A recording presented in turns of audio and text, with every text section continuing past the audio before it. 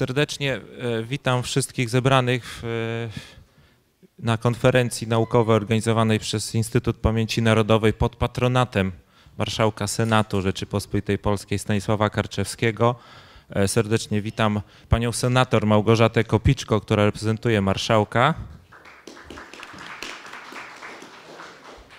Pana prezesa Instytutu Pamięci Narodowej, doktora Jasława Szarka. Również pana dyrektora Biura Badań Historycznych IPN, profesora Włodzimierza Suleje.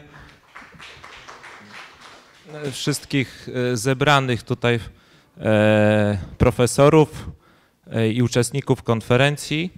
I w pierwszej kolejności oddamy głos pani senator, która odczyta list od marszałka Karczewskiego.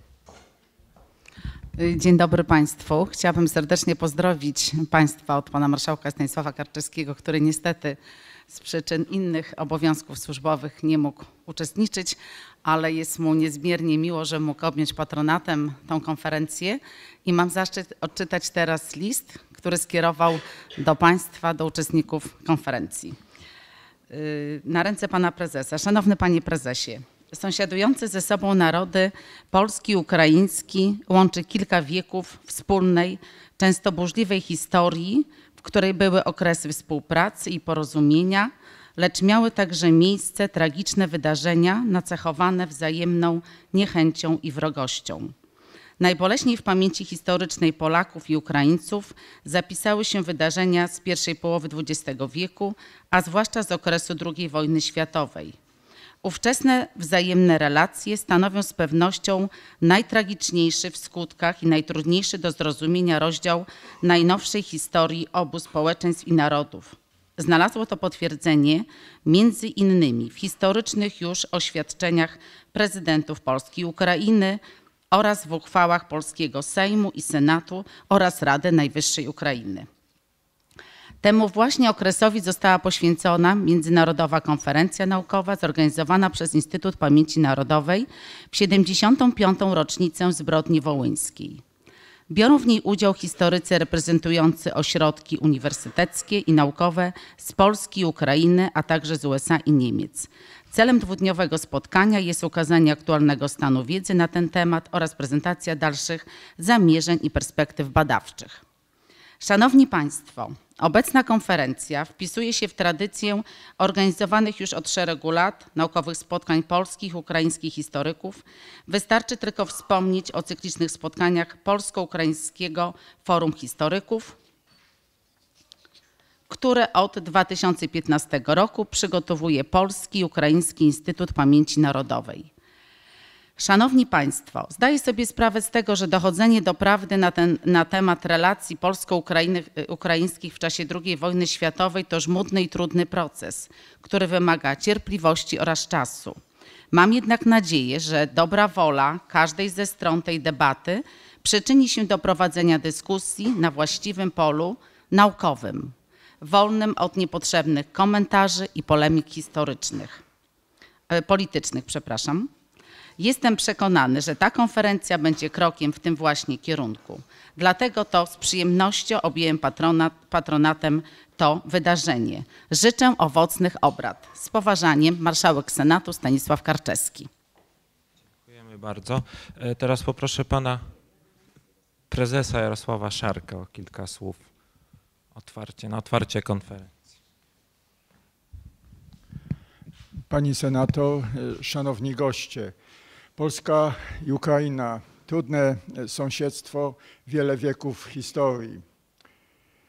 His- Słynny pisarz, wskrzesiciel polskiego ducha, Henryk Sienkiewicz, laureat Nagrody Nobla, pisał Nienawiść zatruła serca, zatruła krew.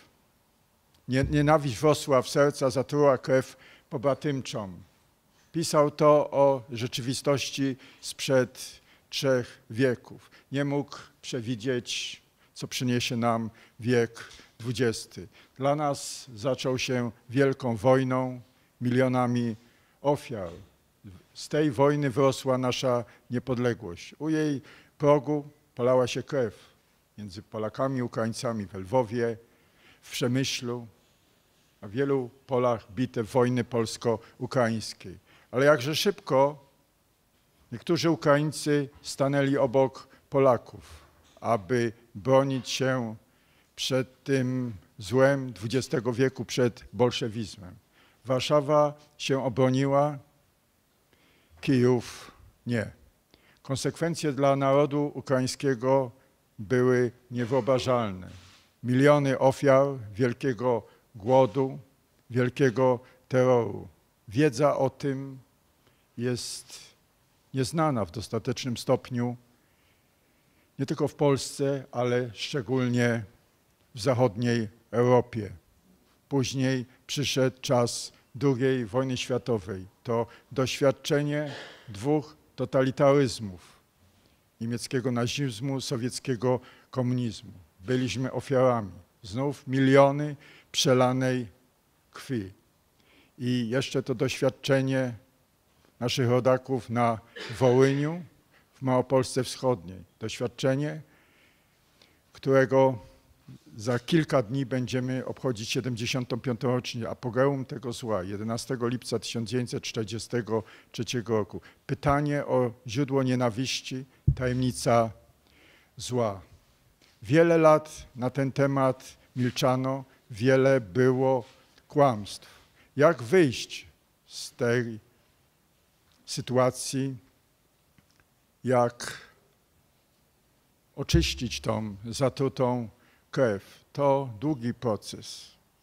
Tu dwa czynniki są ważne. Czas, czas, który pozwala, że w następnym pokoleniu już potomkowie tych, którzy w tak okrutny sposób ginęli, nie budzą się w nocy, gdy w snach przychodzą te koszmary, chociażby 11 lipca 1943 roku. Następne pokolenie nie jest obciążone już takim ciężarem bólu i wspomnień. Kolejne również z pokoleń, ale jest rzecz najważniejsza. Trzeba prawdy, bo to prawda była fundamentem i jest fundamentem naszej cywilizacji. I prawda jest warunkiem koniecznym każdego, każdych relacji, nawet tych najmniejszych, między poszczególnymi ludźmi i także między narodami. Wierzę, że to spotkanie historyków z wielu państw jest drogą ku tej prawdzie, bo tylko tak możemy budować lepszą przyszłość.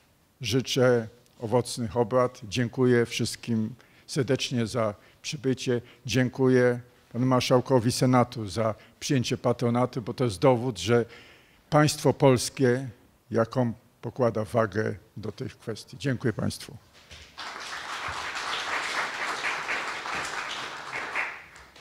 Serdecznie dziękuję panu prezesowi za przypomnienie tych najważniejszej prawdy i o tym, tej prawdy o tym, że musimy właśnie dociekać tej prawdy wspólnie w duchu tutaj dyskusji naukowej bez, bez zbędnych e, emocji. Natomiast e, teraz zaczynamy już konferencję. Do pierwszego panelu poproszę e, za stół prezydialny pana profesora Andrzeja Ziębę, profesora Hirakiego Kuromiję i profesora Aleksandra Zajcewa.